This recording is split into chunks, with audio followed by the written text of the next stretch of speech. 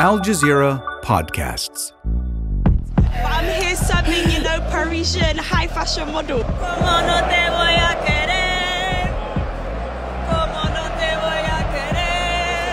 Still an Arsenal fan. Did she call you But, um, Henri Thierry? I mean, I could call you Carragher too if you're feeling left out there, Jamie. Anita Jones is charming, engaging, intelligent. She exudes charisma every time she steps on the stage. And in the world of football broadcasting, whether it's Champions League nights or under English Premier League lights, there's no room for off days. But what many people don't realise is that while she's interviewing some of the world's top footballers, she's in a lot of physical pain. Anita has a condition many women suffer from endometriosis. It was like hell for me, like World War Three down there.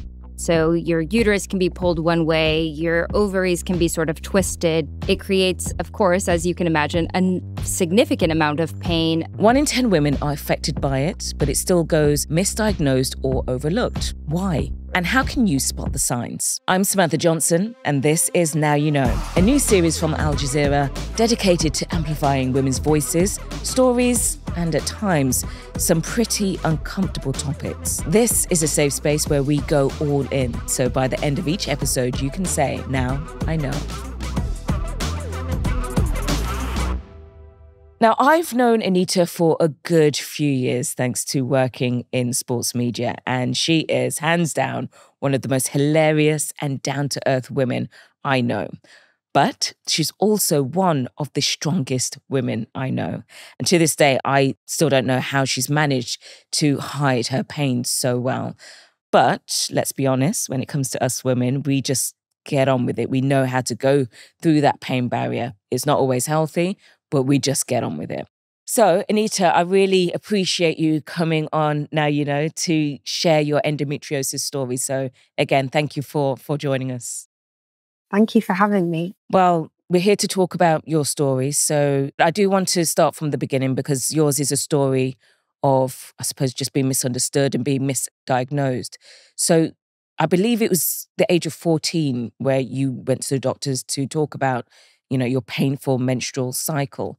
So can you take us to that moment when you were talking to those doctors and what their response was? I think anyone who's listening or watching who has endometriosis or anyone who has someone in their family or close circles will probably think what I'm about to say is all too familiar. I would miss a lot of school actually at 14. I'd started my period at 12, but then it felt like from one day to the next, all of a sudden they were just excruciatingly painful. No one can see it, but um, it was just debilitating. And like I had a, a teacher at school that was my saving grace. And so I'd gone to her one day and told her that I was having these really bad pains. And she said, if you're ever in a lesson, just excuse yourself to go to the toilet and then come join me in the gym where she'd be taking most of her classes. And that happened every month. And then um, finally went home to my mum and said that like I can't c- concentrate, like it's impacting my ability to learn. And so she's like, let's go to the doctor. My mum had also had painful periods. So um, when you're confronted with that, that a parent has also had it, it's very easy to be told, oh, it could just be hereditary. You're just having painful periods and women get them all the time. Um, but the doctor then just said to me, some women get it or some girls get it. That's it.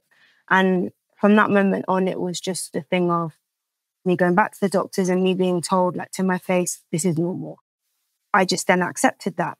And looking back now, there was an incident when I was like 15 and I was hospitalized for pain around my right pelvic bone. They thought I had appendicitis. Since then, I've learned that like appendicitis is, is a common misdiagnosis for for women with endometriosis. So um, it kind of links up because around that area is where I've had the problem for most of my life. When did you realize what was happening to you wasn't normal? So I was about 27. Wow.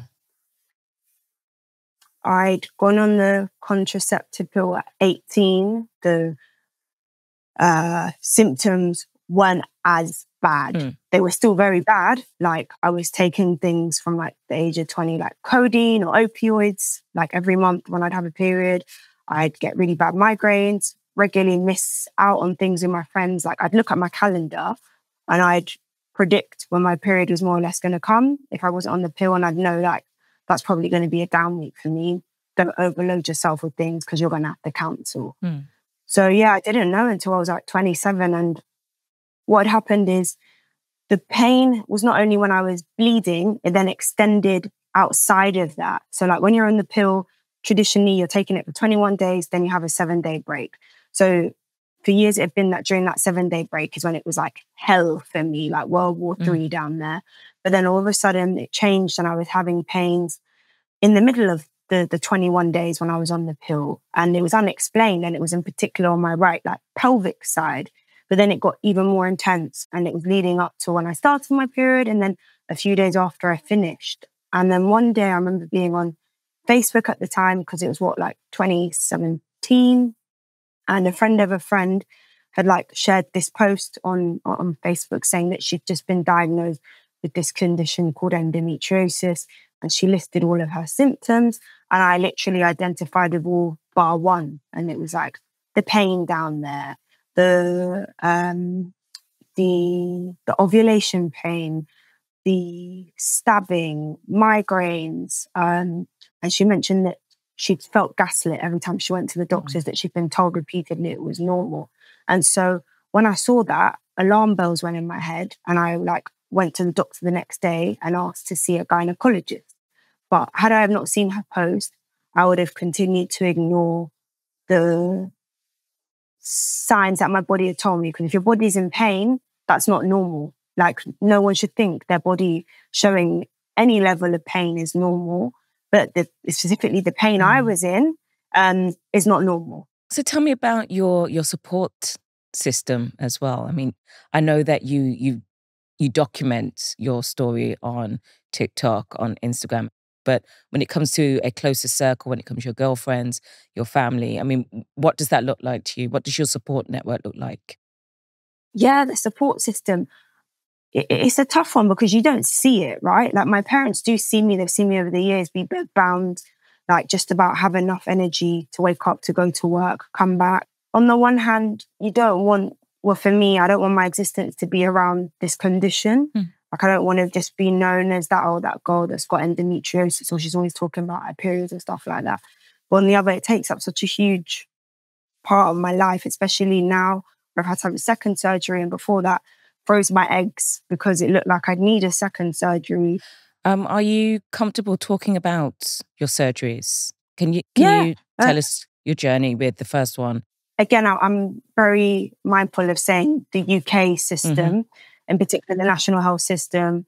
Um, the once you're in the system to see a gynecologist, they will then send you to do scans like ultra scans. And with a condition like endometriosis, um, it's very hard to detect on ultra scans unless it's on your ovaries. So many times it's not detected. And so I had several ultra scans and then I had transvaginal scans to see if they can see anything. Again, nothing. And I was asked, do I want to continue with investigations? Next investigation being a laparoscopy. And I said, 100%. Like I've been suffering for what, nearly 14 Wow. years? Something's not right here. And so then uh, it's a laparoscopy. They go through your belly button. And in my first surgery, they'd found endometriosis on my abdominal wall on the right side. They'd found it um, in a couple of other places too. And it all like made sense afterwards, like the right side being such a cause of pain for me, that that's where a lot of it was concentrated. And I remember like coming around from the the anesthetic and um, talking to some someone. I don't know if it was a nurse. And I'm still quite hazy. I'm not with it. And I asked like, "What happened? Did they see anything?" And he was just like, "Yeah, it looks like you had endometriosis." And I just like, again, under the influence of the anesthetic, I was just like, "I knew it. I knew Oh, it." God. I was say, how did you feel? Like you've, you've been vindicated, basically. You, you you had pain for a reason, and you knew it. yeah, it was mixed. I was like, I wasn't going mad on the one hand, and on the other hand, really upset. And then, um, interestingly, when the surgeon came around to see me and my family afterwards, he spoke about the fact that they've gotten rid of it. And um, there's two ways they can get rid of it. They can either try burn it or scrape it out. And in that first surgery, they they burnt it away. But um, he said the thing is, it can come back. Didn't really take that into consideration. I was just like, I've had my surgery, and within a week, I was walking fine. Like I always had to take things easy, and then within the first three months of like having the surgery, they normally recommend that you are on the contraceptive pill without a break, so not allowing the body to have a period, so that it can minimize any potential regrowth. Mm. So your hormonal levels aren't allowed to reach the, the, the regular levels. And so I remember doing that for three months and I felt no different. Like I felt like I felt before the surgery. And so went and saw a consultant and they said, at this point, I'd suggest that you get the coil fitted, the, the Mirena coil fitted, which is a coil which has hormones. And the idea is that because it's uh, inserted close to the affected area, the hormones are able to do their job mm-hmm. better mm-hmm. than taking a pill where it passes through all of your body um, and it's longer to reach the affected area. And so I was reluctant. I didn't really want to get a coil. The idea of it scared me, like having something fitted up there. I know some women have it fitted during surgery, but that that was never an option mm-hmm. for me. I wasn't even told about it. But uh, desperate and in pain, I said, okay, I'll try it. And that was like one of the most traumatic experiences of my life. For me, I, I would never have done it if I didn't have endometriosis. And so um, the pain then was terrible. Like for the six months after it, I was virtually bleeding every day, still on opioids heavily, which is what I didn't want. But I was told by a nurse to try and stick with it for, for the six months. Six months came, and all of a sudden, the pain went like that, and I, um, I didn't have a period for six months after that. It was the first time in my life where periods weren't ruling me, weren't ruling my life. I was just like, wow, is this how some women live or girls you know like they just go about their life and they don't think about uh, heavy flows or think about like having to always have medication or altering their their social calendar or thinking about work a bit more um, depending on the, the, the time of month. And so it was incredible. And then i remember during the lockdown i went to work one day and I went to the toilet and I was just violently bleeding out of nowhere. And I didn't know why. Yeah, I was surprised and I said, okay, maybe it's just a one off. And then this kept happening like for a few days in a row. And I then went to see a doctor because I was a bit concerned. I was having pains and I was just having this random heavy bleeding. And they, the first port of call was to check that the coil hadn't moved, rather. It didn't move. And then I was back in the system seeing a specialist, and they said everything indicated like the endometriosis was growing back. I tried pelvic floor therapy, something I don't think many women have heard of. Essentially, my muscles had cramped up so much from all the mm. pain that my pelvic floor never relaxed. And so the idea of it was to try and get my muscles to relax so that hopefully the cramping that I had would be mm. easier. Mm. Um, it didn't help. It was terrible. It was a whole like it was a terrible experience. I tried it, that didn't work. I removed the coil, that didn't help, and then uh, had another surgery. So I want to give you insight into what it's like living with endo. Today, I had my second surgery for it. To look at you, anyone would think that you are just the picture of health. I mean, look, I I follow you on Instagram uh, and on, on TikTok. I know you personally, and you just emit such light and positivity, and it shows in your work as well. Like you are 100% just on it all the time. And your job, I know what your job's like. It's very intense. You travel a lot. You have to be a people person. You have to prep. You have to be on it with your preparation uh, when it comes to, you know, live football games as well. You're doing live TV. Week of intense scrutiny, Manchester United got a confidence boosting win. Talking about the team, of course, big signing this summer, Kylian Mbappe, but you guys have already won without him. What You're interviewing top footballers. I mean, Yeah. your your interview with uh, Jude Bellingham, it went viral. I think you tested him on his Spanish. And finally, ¿cómo van las clases de español? Sí, sí. Uh, dos cada semana. Oh, Sí. okay, not bad, okay. Well, well Not done. on your level yet, but I'm getting there. Like you are front and center. Like there's no hiding when you are in front of the camera and you are broadcasting towards millions. So what you do, it's not just a normal job. It's, you have to find that extra energy to put on a performance. So how do you do that? it might sound a bit unhealthy, but part of my approach of endometriosis has been like, I don't want to lose to it, which is silly. And I'm like, I say that, and I never want it to sound like I'm saying women who maybe can't go to work are losing to it. That's not that's not my intention at all. But like, I feel like it's robbed me of a lot already, and it's caused me a lot of pain. And so, when I'm in a working environment, I don't want to lose that either. I don't I don't want to be in a position where I'm having to say to someone, I can't do this because of it. And so I think that's what probably pushes me.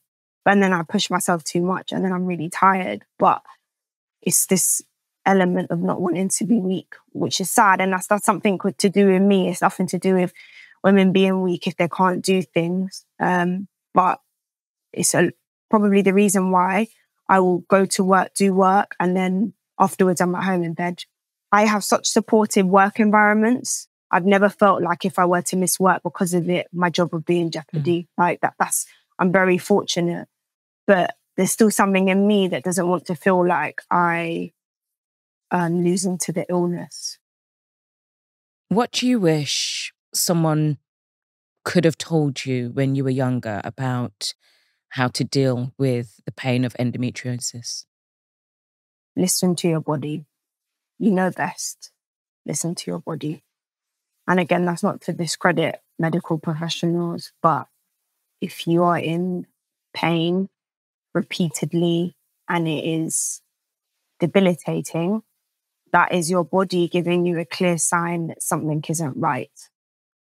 And to not listen to it is more dangerous in the long run. Like when you see the devastating effects that a condition like endometriosis can have. If you're armed with the information and you know your your pain threshold, you are able to advocate for yourself more and make informed decisions. Anita Jones, I wish I could give you a big hug, the biggest hug. Um, look at that smile. Look at look at that smile. This is what this is. This is the Anita we know. You are you're one of the strongest women I know, and um, thank you for coming on to Now You Know and sharing your journey. I really appreciate it. Thank you, Sam. It's been brilliant talking to you. Thank you for um, creating a safe space. So, where do we stand in the fight against this condition? With so many people affected by this condition, I wanted to speak to someone who could tell us why women, especially women of colour, still find it so hard to get a proper endometriosis diagnosis. But not only that, once the diagnosis is made, why getting effective treatment is still so difficult. So we tracked down Jandra Mueller. She's a pelvic floor physical therapist, and much of her work focuses on chronic pelvic pain, one of the surest signs that a woman has endometriosis. So, Jandra, uh, thank you so much for joining us on Now You Know. We've got a lot to get through. Thank you for having me. Very excited. Okay, so many of us know about the condition endometriosis. We may even know someone that has this condition, but there seems to be a bit of mystery around it. So, can you just tell us what endometriosis really is and can you break it down? Sure. So, at the basic level, endometriosis is cells that are similar to the lining of the uterus, the endometrium, but they are not exactly the same. So, they behave similarly, they look similarly, but they are found throughout the body, most commonly in the abd- abdominal pelvic area. So, around our our organs in our belly and our pelvic organs, reproductive organs. So that's outside of the uterus and it attaches and it can look very different. It can cause a significant amount of pain amongst a number of other symptoms and infertility.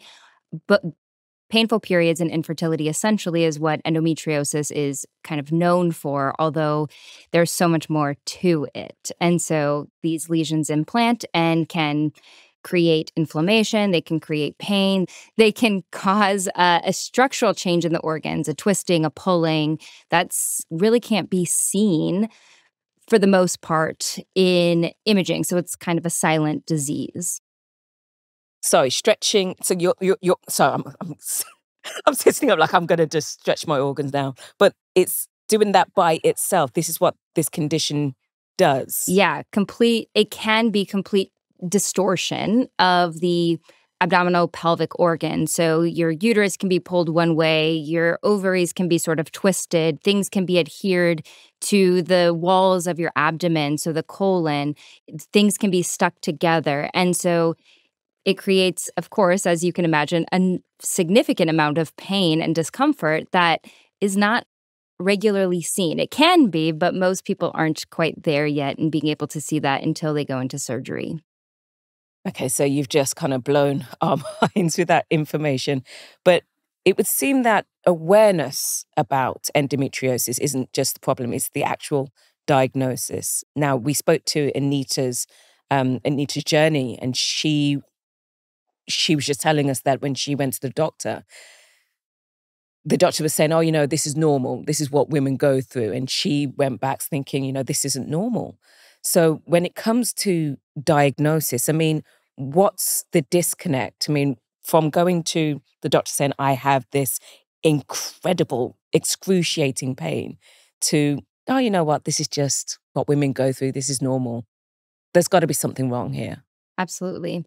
And unfortunately, that's the more common scenario. The outlier is that person who goes in to see somebody who actually knows about this disease and starts treatment right away. And so part of that starts with our knowledge or lack thereof of the disease and how it presents. For example, in the United States, ACOG, which is the American College of Obst- Obstetrics and Gynecologists, or the governing body of an OBGYN, and their recommendations state, you know, most adolescents have what's called primary dysmenorrhea. So, dysmenorrhea just means painful periods, essentially.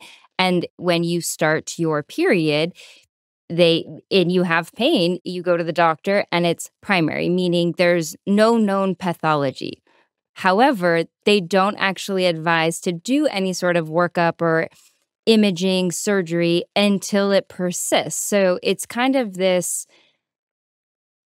roundabout way until somebody's like really complaining of pain, but even still, they don't necessarily get that diagnosis. And so, primary dysmenorrhea, let's try some anti inflammatory medications like Advil, naproxen, Motrin, and or let's put you on birth control pills because of course birth control pills are the solution to everything. Just shut down the period and it's fine. And part of that is because endometriosis is it's not the endometrium, it's cells that are similar to that. But historically, we've taken some of the early thought process and the information that was gained in the 1920s or even before, and we've kind of made this disease about the uterus. So if we shut that down, we take care of the endometrium, no more problems. And so if somebody then responds well to, let's say, Advil or birth control pills, which many do, many do not, then they say, yep, it's primary dysmenorrhea and this is the solution. But it still progresses. The, these things,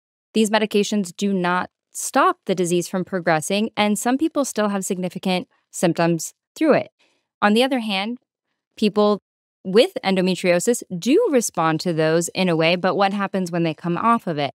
And so it's a really tricky way to, to try to determine who has this disease and who doesn't. There was a Congress that came together, a World Congress, and many different societies, representatives came together to look at guidelines and say, you know, what should, what's the level of evidence that we can say an adolescent has endometriosis and what should be the plan, and a number of other things. And it's interesting because ACOG was not in attendance, or nobody representing ACOG was in attendance there.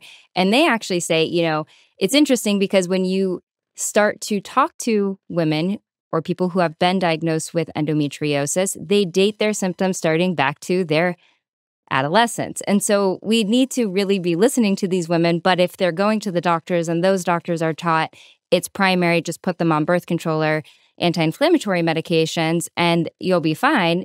This is what's in part playing into this huge delay of diagnosis. When it comes to women of color, things are even worse. So, how exactly does structural racism affect the rate of diagnosis and access to treatment and care for women of color? It's still it's still more difficult for women of color to get an accurate diagnosis and accurate in good pain management and somebody to believe them. And endo does not really affect any, you know, culture, race any differently than any other. And so we have thought, though, women of color, oh, they are less impacted by endo, less impacted by conditions that involve pain and inflammation, where that's not necessarily true. And maybe it's more, maybe it's not, but it, they're definitely not being listened to. Going back to some of the guidelines, even this year, there's ACOG has a an online continuing education module for physicians to learn about this disease, and they still have in there endometriosis does not seem to impact women of color with a little asterisk. This may or may not be the case. And and we know that that what, is not the asterisk, case. though? It's it's I'm sorry, this is this is playing with my mind here, as I'm sure it does for you, but it just doesn't make sense. Like, okay, it it doesn't affect women of color, it affects women, period. But Correct. it's worse for women of color. Well, yeah, they actually state it's less. It, it it impacts women of color less, and that's just not that's just not true. But that is still 2024. That is in ACOG, the governing body of the United States. It is in their lecture. Just because a woman gets a fine um, gets a final diagnosis, it doesn't mean that the pain goes away or the problem goes away. Why is this? Yeah. So, part one, getting a diagnosis or getting somebody to believe you for that diagnosis. Second part is the treatment for that, right? And so, let now you got a diagnosis or you found a doctor that says, Yeah, I think you have this. You've tried all these things. Okay. Next step is let's go in and see surgery. So, it used to be, at least in my experience working with patients and myself, that if you went to a doctor and they said, I'm going to excise the lesion, so endometriosis excision, you kind of knew that that was your person and they were going to do it the right way. They were going to do it fully, or ablation, which is burning the tip of the lesion. So it's not removing the lesion, it's actually taking kind of a laser and heating it to burn the tip of it, like the tip of the iceberg. But the thing is, is that you don't know how deep the lesion is until you start to remove it. Again, just like cancer, you want to clear the margins. So it used to be that you went and the doctor said, I do excision, you got the whole thing. Ablation, you might go through treatment, you might not, but you know that that's probably nowadays, most people know, like, we don't, that's not what you want to do. So now it's most people are actually doing excision, at least that I've seen. There's there's a trend in this, but it doesn't mean that they're visualizing all of the lesions or recognizing all of the less common lesions. And I see that in my practice all the time. And that's actually what happened to me as well. I knew a little bit more going into it that this was going to be sort of a trial, but it's exactly what happened to me. I tend to grow more fibrotic type tissue, which some and the research may say that this is end stage disease. It might not be the case, but that was not recognized as endo because you're learning, maybe the doctors are learning a couple different uh, presentations of the disease when they go in. And so that's become more of a problem now. And so this persistence of endo, or then you say, I got the surgery, maybe it wasn't the correct one, maybe it wasn't fully, and I'm still in pain, I'm still not better okay, now we've moved into this pain science world, which is great to have, but it's a tool like anything else. And I think then these patients that actually still have endometriosis left are now being kind of categorized as centralized pain or central sensitization when really they may actually be having persistent endo. Well, for our viewers and our listeners to anyone who thinks that they might have endometriosis, what are the symptoms they should be looking out for?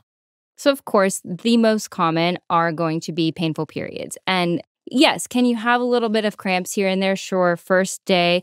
It should not be interfering with your life and it should be it it should be tolerable meaning like can you take an Advil the first day and it goes away and you can live your life and fine. Sure. Again, there's people like myself who never had painful periods. So are you having pain at different parts of your cycle that make you want to go to the ER, make you avoid school, work, social events. That is not normal. So listen to your body, listen to yourself, ask questions with your family about your family. You know, did anyone, females, have a hysterectomy for any reason? You may find that your mom or grandma or your dad's mom had a hysterectomy or your aunts or your cousins, and all of a sudden, there's three or four that did, but they don't know why. Oh, it was mm. for XYZ, probably misdiagnosed or fibroids. Fibroids are going to be, eh, they're often linked to with endometriosis. Not to say that everyone with fibroids has endo, but you you do often see them hand in hand. And so ask those questions, and you might start to gain, like, oh, I do have a family history, and that's not normal.